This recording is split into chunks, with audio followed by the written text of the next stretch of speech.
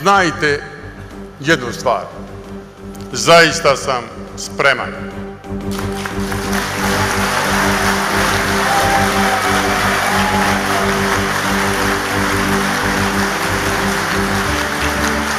Spreman da opravdam vaše povjerenje.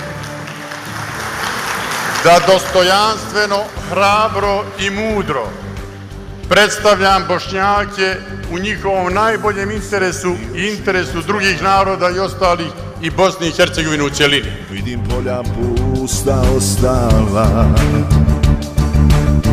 Sivo nebo puno oblaka Iznad zemlje mojih predaka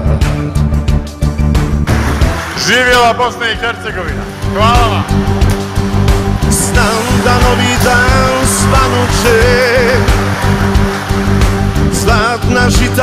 Opet glasaće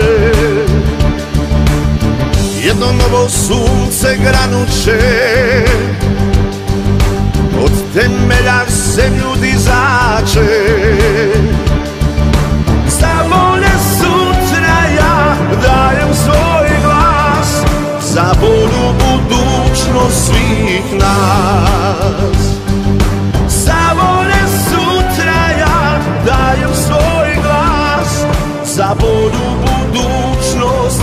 Za bolju budućnost, za bolju budućnost svih nas.